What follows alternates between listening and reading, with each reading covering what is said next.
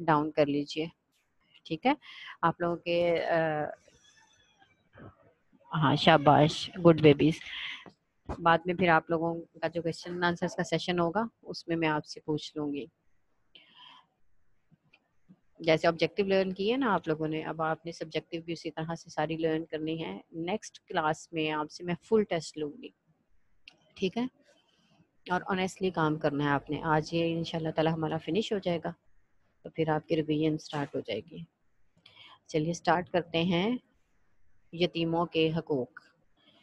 یتیموں، اس میں last time آپ لوگوں کو میرا خیال ہے میں نے یہ ایکسپلین بھی کر دیا ہوا ہے۔ پھر تھوڑا سا اس کو جسٹ ریڈ کر لیتے ہیں۔ اور کوشش کیجیے گا کہ بیچ میں انٹرپشن مت کیجیے گا کہ آپ لوگوں کو مجھے بار بار کہنا پڑے کہ آپ لوگ اپنی ویڈیوز آف کیجیے۔ یتیموں کے حقوق۔ بکس بھی آپ لوگوں کے پاس ہونی چاہیے اور اس میں سے تو آپ دیکھ ہی رہے ہوتے ہیں۔ یتیموں کا حق یہ ہے کہ ان کے ساتھ شفقت و محبت اور ہمدردی سے پیش آیا جائے تاکہ انہیں اپنے والدین کی غیر موجودگی کا احساس نہ ہو۔ ان کے مال کی حفاظت کی جائے۔ جب وہ بالغ ہو جائیں تو ان کے، ان کا مال ان کے حوالے کر دیا جائے، سپرد کر دیا جائے، حوالے کر دیا جائے۔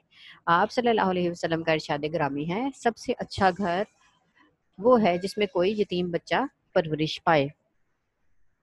ٹھیک ہے سب سے اچھا گھر وہ ہے، آپ کی ایم سی کیوز اور خالی جگہ میں بھی یہ موجود ہے۔ اور بیٹا try to join the class in time آپ لوگ کیا اتنی لیٹ آنے کا کیا فائدہ بیٹا؟ جب آدھے سے زیادہ لیکچر کمپلیٹ ہو چکا ہو۔ اور دوستوں کے حقوق میں ہے کہ دوستوں کا حق یہ ہے کہ ان کے ساتھ اخلاص سے پیش آیا جائے یعنی کہ کسی طرح کے مقصد کے بغیر دوستوں کے ساتھ تعلق رکھا جائے۔ اور اچھے کام میں ان کی مدد کی جائے اور برے کاموں سے ان کو روکا جائے۔ ان کی غیر موجودگی میں ان کی تعریف کی جائے اور اگر وہ کوئی مشورہ مانگے تو ان کو مفید مشورہ دیا جائے اور ان کو تحفے تحائف دیے جائیں۔ ایک دوسرے کے ساتھ پیار، محبت سے رہیں۔ تحفے تحائف دیں۔ جب آپ یہ دیکھتے ہوں گے کہ ہمارے ہاں رواج بھی ہے یہ کہ جب ہم ایک دوسرے کے گھر جاتے ہیں تو کوئی نہ کوئی فروٹ لے جاتے ہیں، کیک لے جاتے ہیں اور اسی طرح سے عید ہوتی ہے، اس پہ بھی ہم گفٹس وغیرہ دیتے ہیں، کسی کی برتھ ڈے آ جاتی ہے، اس پہ بھی گفٹ دیتے ہیں اور اس کے علاوہ بھی جب کبھی ہمیں بہت خوشی ہوتی ہے اپنے گھر میں یا کہیں دوسرے کے گھر میں تو ہم ان کو گفٹس وغیرہ دیتے ہیں۔ اس کے علاوہ ہمارے پیارے پیغمبر حضرت محمد صلی اللہ علیہ وسلم کا ارشاد مبارک ہے کہ جب تم اپنے گھر کھانا پکاؤ نا، تو اس میں سے اپنے ہمسائے کو بھی ضرور دیا کرو۔ دوست ہمسائے بھی جو ہے نا، وہ دوست ہی ہوتے ہیں۔ ان میں سے سب سے پہلے آپ دیکھیں کہ آپ کے ریلیٹیوز کے بعد آپ کے جو نیبرز ہوتے ہیں انہیں میں سے آپ کے سب سے زیادہ فرینڈز ہوتے ہیں۔ ٹھیک ہے؟ تو ان کا بہت حق ہوتا ہے۔ ان کو بھی آپ نے اپنے ان تحفے تحائف میں شامل کرنا ہوتا ہے، ٹھیک ہے؟ اور ایک دیکھ، یہ جو دوستوں کے حقوق ہے نا، یہ ایک مسلمان کے دوسرے مسلمان پر بھی حقوق ہیں، ٹھیک ہے؟ کہ اس کی تعریف بھی کی جائے، اس کو ڈیفینڈ بھی کیا جائے، اور ساتھ ہی ساتھ اگر وہ مشورہ مانگے تو اس کو ایک اچھا مشورہ دیا جائے، اس کے لیے ایسا مشورہ دیا جائے جو اس کے لیے فائدہ مند ہو، اور ساتھ ہی اس کو گفٹس وغیرہ دیے جائیں تاکہ ان کی خوشی بھی ہو اور اگر وہ ضرورت مند ہے تو اس کی ضرورت بھی پوری ہو جائے۔ یتیموں کے حق میں یہ ایک فگر لیا ہوا ہے آپ کا کہ یتیموں کو کھانا کھلانے سے جو ہے وہ بہت زیادہ اللہ تعالیٰ جو ہے اس کا اجر دیتے ہیں۔ دنیا میں بھی فائدہ ہوتا ہے اور آخرت میں بھی ہوتا ہے۔ اور یہ دیکھیے ان کے اچھے کپڑے ہیں بینگلز ہیں، عید کے موقع پر یا ویسے ہی کبھی آپ نے اللہ تعالیٰ کی راگ میں ان پاک کس بھی کرنا ہے تو آپ کسی ایسے لوگ، کچھ ایسے لوگوں کو دیجیے جو آپ کو ڈیزرونگ لگتے ہیں۔ ٹھیک ہے؟ کھانا کھلانا اور لباس پہنانا سب سے زیادہ ثواب کا کام ہے۔ اس کے بعد یہ منی کے لحاظ سے ہے کہ ایک چھوٹا سا بیبی ہے، یتیم ہے، جن کے پیرنٹس نہیں ہیں، لیکن ان کی وراثت میں موجود کچھ رقم ہے، تو اس رقم سے اس کی پرورش بھی کی جا سکتی ہے اور اس رقم کو آپ یوز کر کے اس کے کسی کاروبار میں بھی لگا سکتے ہیں یا اس کو ایز اٹ از ہی رکھ سکتے ہیں تاکہ جب وہ اس قابل ہوں کہ اس رقم کو سنبھال سکیں تو پھر آپ اس کے حوالے کر دیں کہ یہ تمہارے پیرنٹس تمہارے لیے چھوڑ کے گئے تھے، اب یہ تم رکھو اور جیسے چاہو خرچ کرو۔ جب وہ بالغ ہو جائیں یعنی اٹھارہ بیس سال کی عمر کو ہو جائیں، انہیں سمجھ آ جائے کہ ہم نے اس کو خرچ کس طرح سے کرنا ہے، ٹھیک ہے؟ اب یہ تو ہمارا پریویس لیکچر تھا جو میں نے تھوڑا تھوڑا سا آپ کو بتایا۔ اب نیکسٹ میں ہم لوگوں کے یہ ہے، غریبوں کے حقوق کیا ہیں؟ ایسے لوگ جو ڈیزرونگ پیپل ہم لوگ، ان کو کہتے ہیں غریب مسکین کہا جاتا ہے جن کو وہ لوگ۔ جو اپنی ضروریات زندگی جو ہیں وہ بہت اچھے سے پوری نہیں کر سکتے۔ اچھے طریق اچھا لباس نہیں پہن سکتے، اچھے اسکولوں میں پڑھا نہیں سکتے، اچھے گھروں میں رہ نہیں سکتے۔ ایسے لوگوں کو کہا جاتا ہے کہ وہ پور پیپل ہیں، ٹھیک ہے؟ غریب لوگ ہیں۔ غریبوں کا حق ہے، اس کو ریڈ کر لیتے ہیں۔ غریبوں کا حق ہے کہ امیر لوگ اپنے مالوں سے ان کی ضروریات بھی پورا کریں، پوری کریں۔ اس میں جو ہے نا امیروں کے اوپر زکوٰۃ بھی فرض ہے اور زکوٰۃ کا بھی نصاب ہے اور یہ بالکل علیحدہ سے ایک ٹاپک ہے۔ تو انفاق فی سبیل اللہ میں زکوٰۃ سب سے پہلے آتا ہے، اس کے بعد نفلی جو ہے وہ انفاق آتا ہے کہ نفلی اپنے کس طریقے آپ نے کس طریقے سے خرچ کرنا ہے اور کس کس پہ خرچ کرنا ہے۔ حقوق العباد میں ایسے لوگ ڈیزرونگ پیپل بھی کا بھی بہت زیادہ حق ہے۔ ان لوگوں پہ جو لوگ مالدار ہیں اور ان کے ان کے مال میں ان کا حصہ رکھا گیا ہے۔ یعنی کہ وہ اپنے مال میں سے ان کا حصہ ہے جو اس کو وہ دے رہے ہیں۔ وہ اسی کا حصہ ہے جو اللہ تعالیٰ نے آپ کو دیا ہے۔ لیکن صرف اس لیے دیا ہے کہ وہ آپ کی آزمائش کر سکے۔ کبھی آپ اس کا حصہ دیتے ہیں کہ نہیں دیتے ٹھیک ہے؟ آپ کو ثواب بھی ہوگا اور اس کا حصہ، اس کا حق جو ہے وہ بھی اس کو مل جائے گا۔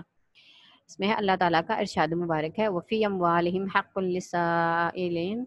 لسائلی والمحروم۔ سورہ زاریات میں آیت نمبر 19 ہے ترجمہ، اور ان کے مالوں میں مانگنے والے اور نہ مانگنے والے دونوں کا حق ہوتا ہے۔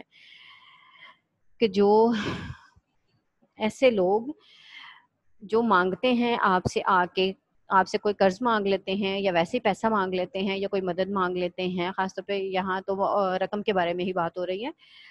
تو وہ آپ سے مانگتے ہیں تو اس میں مانگنے والے اور جو آپ سے اپنا حق نہیں مانگتے، وہ اپنے گھروں میں بیٹھے رہتے ہیں۔ حالانکہ وہ ضرورت مند ہوتے ہیں، کسی کے آگے ہاتھ نہیں پھیلاتے، ان لوگوں کا بھی حق رکھا گیا ہے کن لوگوں کے مال میں جن کو اللہ تعالیٰ نے دولت عطا کی ہے، جو صاحب نصاب لوگ ہیں یعنی کہ جن پہ زکوٰۃ فرض ہے۔ اس کے علاوہ ہر بندے پہ چاہے وہ غریب ہو یا امیر ہو، اس کے اوپر انفاق تو ہے کہ وہ جتنا زیادہ اللہ کے راہ میں مال خرچ کرے گا، اللہ تعالیٰ اس کو اتنا ہی زیادہ عطا کرے گا۔ لیکن جو امیر لوگ ہیں، جو صاحب نصاب ہیں، ان پر یہ چیز فرض ہے کہ وہ ان کو حق ان کا ادا کریں۔ غریبوں کے حقوق کی تاکید کرتے ہوئے حضرت محمد صلی اللہ علیہ وآلہ وسلم نے فرمایا، سب سے برا کھانا وہ ہے جس میں امیروں کو بلایا جائے اور غریبوں کو چھوڑ دیا جائے۔ دیکھیں کہ امیروں ہی کو صرف بلا لیا اور جو اپنے محلے کے یا اپنے رشتہ دار جو تھوڑے سے لو سٹینڈرڈ کے ان کے مطابق ہیں تو ان کو چھوڑ دیا۔ تو وہ سب سے برا کھانا ہے، ٹھیک ہے؟ اس کھانے کو پیغمبر پاک نے پسند ہی نہیں فرمایا۔ اور سب سے اچھا کھانا کون سا ہے؟ جس میں سب سے زیادہ ہاتھ ہوں، ٹھیک ہے؟ زیادہ لوگ شامل ہوں، امیر ہوں، چاہے وہ غریب ہوں۔ اور اگر کھانا کھلایا جائے تو ڈیزرونگ پیپل کو اگر کھلایا جائے، ایسے لوگ جو وہ کھانا نہیں کھا سکتے، ویسا کھانا ان کو کھلایا جائے، تو ان کے دل سے نکلنے والی دعا ضرور قبول ہوتی ہے۔ اسی لیے پیغمبر پاک نے کہا ہے کہ غریبوں کو جو ہے وہ زیادہ کھلایا جائے تاکہ آپ کو دعائیں بھی ملیں، آپ کے کھانے میں اور آپ کے مال میں برکت ہو، آپ کی زندگی میں بھی برکت ہو۔ نیکسٹ پڑھتے ہیں ایک حدیث میں رسول اللہ صلی اللہ حدیث مبارکہ میں رسول اللہ صلی اللہ علیہ وسلم نے فرمایا حقوق العباد کی اہمیت یوں بیان فرمائی ہے کہ میدان قیامت میں سب سے زیادہ غریب اور مفلس وہ شخص ہوگا جو نماز، روزہ اور دوسری عبادتوں کے باوجود جہنم میں ڈال دیا جائے گا۔ لوگوں کو اس پر تعجب ہو، ہوا کہ یہ کیسے ہوگا؟ تو حضور اکرم صلی اللہ علیہ وسلم نے فرمایا کہ اس کے والدین، بیوی، بچے، ہمسائے اور دوسرے اہل حقوق آ کر اللہ تعالیٰ سے اپنے حقوق کا مطالبہ کریں گے اور کہیں گے کہ اس شخص نے دنیا میں ہمارے حقوق ادا نہیں کیے، تب اس کی نیکیاں ان میں بانٹ دی جائیں گی اور ابھی حقدار باقی ہوں گے تو اس کی برائیاں، ان کی برائیاں اس کے کھاتے میں ڈال دی جائیں گی، کہ اس کے نامہ اعمال میں ان کی برائیاں ڈال دی جائیں گی جن کے حقوق اس نے ادا نہیں کیے ہوں گے۔ اور پھر اسے دوزخ کی طرف روانہ کر دیا جائے گا۔ اللہ منہم۔ اللہ تعالیٰ ہمیں اس سے بچا کے رکھے کہ کوشش کریں، آپ کو جتنی سمجھ آتی ہے آپ اپنے فرائض پورے کریں۔ آپ کو حقوق اللہ، نماز، روزہ، زکوٰۃ، حج، یہ پورے کریں۔ اور جو حقوق العباد ہیں، اپنے والدین کے ہیں، رشتہ داروں کے، یہ جو آپ کو حقوق پڑھائے جا رہے ہیں، یہ سارے حقوق آپ ادا کریں۔ حت المقدور اپنی کوشش کے مطابق، سمجھ کے مطابق، تو ہر انسان سے اس کی کوشش اور اس کی سمجھ کے مطابق ہی حساب لیا جائے گا، کسی کے ساتھ زیادتی نہیں کی جائے گی۔ اس لیے کوشش کریں کہ جتنی آپ کو سمجھ ہے، جس طرح جتنا اپنے ریسورسز میں رہ کے آپ کام کر سکتے ہیں، دوسروں کے حقوق ادا کر سکتے ہیں، حقوق ادا کریں، ماں باپ کے ساتھ اچھے طریقے سے پیش آئیں چھوٹوں کے ساتھ اپنے ہمسایوں کے حقوق، ان کے، ان کی ضروریات کا خیال رکھیں۔ اور ایسے لوگ جن کے بارے میں کہہ دیا گیا ہے کہ ان کو زکوٰۃ دینا فرض ہے، تو آپ زکوٰۃ ان کو دیں تو آپ جو ہیں وہ اللہ تعالیٰ کے سامنے سرخرو ہو جائیں گے۔ ادروائز نماز، روزہ، زکوٰۃ، حج کا کوئی فائدہ نہیں ہے۔ دیکھیے، انہوں نے کہا ہے کہ یہ اس نے اللہ کے حقوق تو ادا کیے ہیں، لیکن بندوں کے حقوق ادا نہیں کیے۔ تو اس کو اللہ تعالیٰ نے کہا کہ یہ جو میرے حقوق تم نے ادا کیا نا، ان کو اپنے پاس ہی رکھو۔ پہلے یہ تو دیکھیں کہ تم نے دنیا میں کیا عمل کیا ہے۔ عمل ہے ہی حقوق العباد کے ساتھ، ٹھیک ہے؟ اس لیے اس کے بارے میں زیادہ کیئرفل رہنے کی ہمیں ضرورت ہے۔ اب یہ ایک چھوٹا سا فگر ہے جس میں ہے کتنے سارے ہاتھ ہیں اور یہ اوٹس ہیں، کچھ گندم کے دانے ہیں۔ یہ ہاتھ میں، یہ صرف ایک اکیلا لے لے گا تو صرف ایک اپنا ہی ہاتھ بھرے گا۔ یہ تھوڑے تھوڑے سب کو دے دے گا تو اس کو ثواب بھی ہوگا اور ساتھ جو ہے وہ دوسروں کے حقوق بھی ادا ہو جائیں گے۔ یہ دولت سے مشابہت ہے کہ ریزمبل کیا دولت سے۔ آپ کو اتنا اللہ تعالیٰ نے اتنی دولت دی ہے کہ آپ کا جو ہے، سر سے پاؤں تک آپ ڈھانپے ہوئے ہیں۔ تو پھر آپ یہ جو خالی ہاتھ ہیں، جن کو دولت کم دیا ان کو تھوڑا تھوڑا سا دے دیں۔ انہی کا حق جو ہے، وہ آپ کے پاس موجود آپ دیں گے۔ تو ان کا حق بھی ادا ہو جائے گا، آپ کو ثواب بھی مل جائے گا۔ اور قیامت والے دن آپ کا گریبان بھی کوئی نہیں پکڑے گا، آپ کا دامن صاف ہوگا۔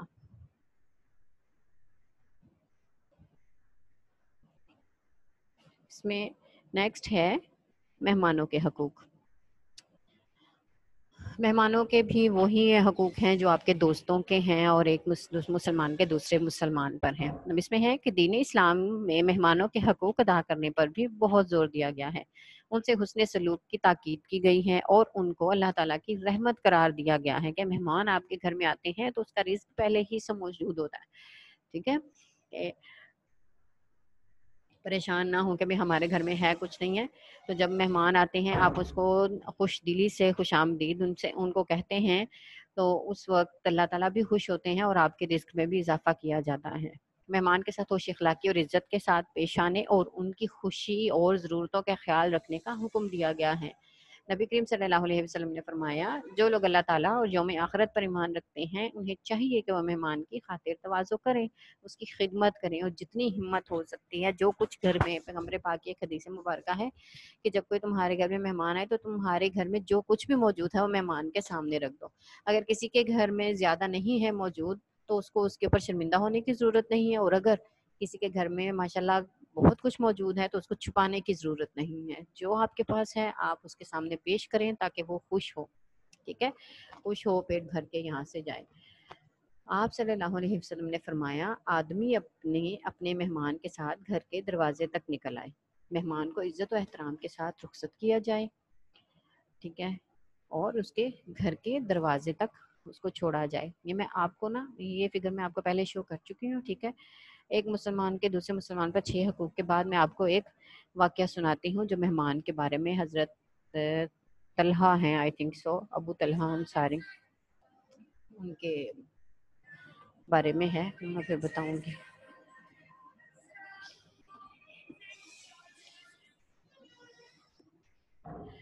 مسلمانوں کے آپس میں حقوق کیا ہیں۔ حضرت ابو ایوب انصاری فرماتے ہیں کہ رسول اللہ صلی اللہ علیہ وآلہ وسلم نے فرمایا، ایک مسلمان کے دوسرے مسلمان پر چھ حقوق ہیں، جو میں نے آپ کو اس میں بتایا ہے۔ خالی جگہ میں بھی آیا آپ کا، ٹھیک ہے۔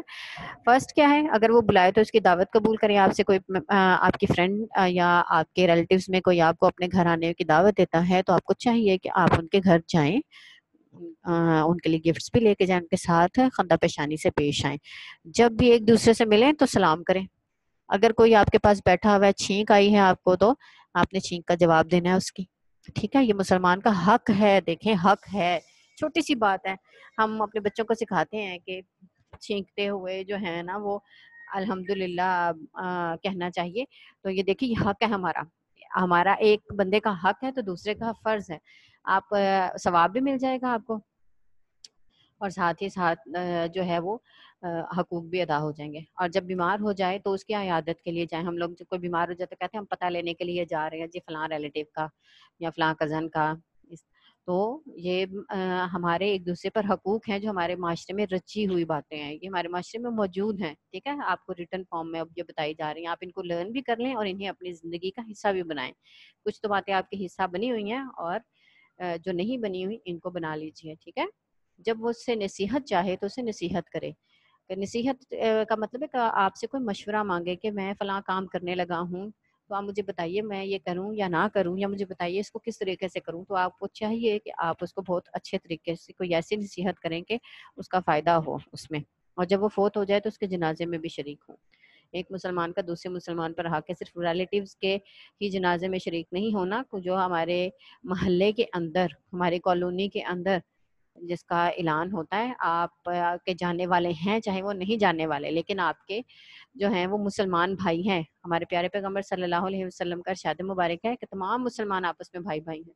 تو بھائی ہونے کی غرض سے، بھائی ہونے کے ناطے پورا معاشرہ جو ہے وہ ایک بندھن میں بندھا ہوا ہے، ایک مٹھی کے ایک ہاتھ اور ایک مٹھی کی طرح ہے، ایک پنچ کی طرح یہ ساری انگلیاں جو ہیں وہ ایک مل کر ایک معاشرہ، ایک پنچ بناتی ہیں، ٹھیک ہے؟ تو مضبوط بناتی ہیں۔ اور یہ تمام مسلمانوں کے لیے ہے۔ ایک مسلمان جتنے بھی مسلمان ہیں، ان سب کے لیے یہ ساری باتیں موجود ہیں کہ آپ ایک دوسرے کے کو ایک دوسرے کی ان تمام حقوق کو اپنے پر لازم کر لیں کہ ہم نے یہ حقوق ادا کرنے ہیں۔ آپ حقوق ادا کریں گے، آپ کے فرائض ادا ہو جائیں گے، ٹھیک ہے؟